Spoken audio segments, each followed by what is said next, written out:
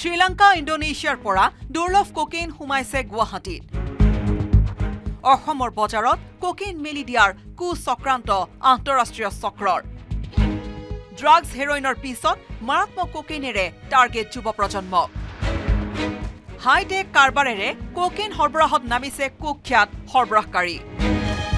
ৰাজ্যৰ যুৱ প্ৰজন্মৰ তেজত মাৰাত্মক নিচা বিলাই দিবলৈ সক্ৰিয় হৈছে আন্তঃৰাষ্ট্ৰীয় এটা কুখ্যাত চক্ৰ। ড্ৰাগছ হেৰইন ভাং গাঞ্জাৰ পিছত এইবাৰ নিষিদ্ধ মাৰাত্মক কোকেইনৰ পয়োভৰ ৰাজধানী গুৱাহাটী। হয় নিশাৰ বিলাসী নিচাৰ বজাৰত বিক্ৰী কৰিবলৈ অনা এনে সামগ্ৰী জব্দ হোৱাৰ পিছতেই পোহৰলৈ আহিছে ভয়ংকৰ তথ্য। বিদেশী যুৱকৰ পেটৰ ভিতৰত ওলাল বিলাসী কোকেইনৰ ভাণ্ডাৰ। ফ্লাইট যোগে বিদেশী যুৱকে সৰবৰাহ কৰিছে মাৰাত্মক কোকেইন। চাওক এই যুৱকজনলৈ?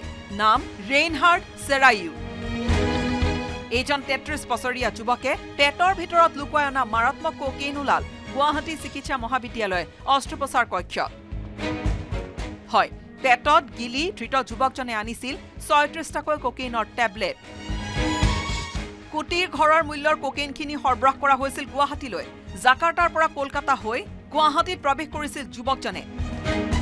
মন কৰক এইসমূহ টেবলেট সদৃশ মাৰাত্মক নিচাজাতীয় সামগ্ৰীলৈ।